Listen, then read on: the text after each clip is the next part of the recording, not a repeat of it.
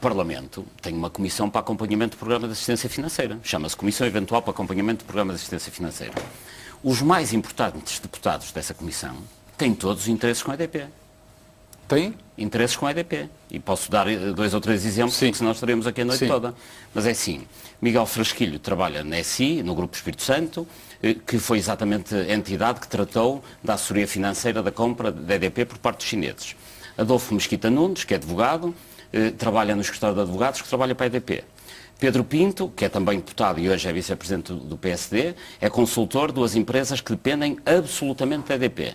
E poderia continuar. Portanto, como é que estes senhores vão fiscalizar matérias que têm a ver com a privatização, com a EDP, eh, na Comissão Parlamentar? Dr. Paulo é Moraes que- tem que fazer um, um ponto mais um, que é estes visados, eh, isto é um programa em direto, como sabemos, os convidados têm direito à liberdade de expressão, estes visados têm naturalmente antena aberta para explicar a sua posição e para contrapor, se for o caso. Portanto, façam favor quando quiserem.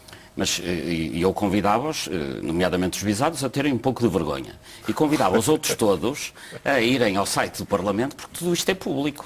Isto é informação, não é informação privilegiada que eu tenha. Bastará ver o registro de interesses destes senhores e ver as ligações que eles têm, nomeadamente à EDP. Portanto, devem ser pessoas que de manhã vão trabalhar para as suas empresas, para os escritórios de advogados, e depois à tarde vão para o Parlamento fiscalizar o que eles próprios fizeram durante a manhã. Isto é tão absurdo que, que não, não fa- é, é ridículo como é que um país se permite uma situação destas, que ainda por cima eh, eh, grande parte desta informação é pública, e neste, neste caso em apreço toda esta informação é pública, como é que é possível os maiores partidos do regime permitirem-se colocar na comissão que vai avaliar o programa de assistência financeira pessoas que têm interesses em quase todas as medidas do programa de assistência financeira? Mudar a composição do próprio Parlamento e pôr lá pessoas sem esse interesse, o que é quase impossível.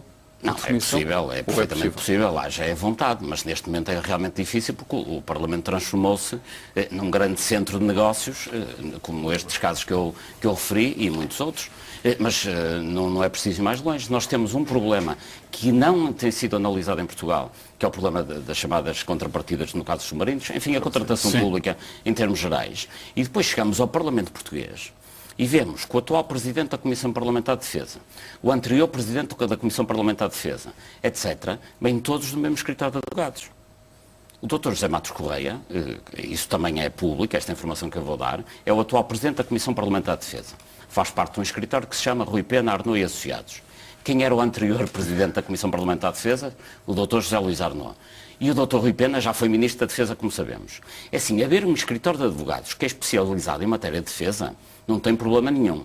Agora, ser esse escritório de advogados a nomear as pessoas que mandam na defesa no- em termos de Estado, aí é que já é preocupante.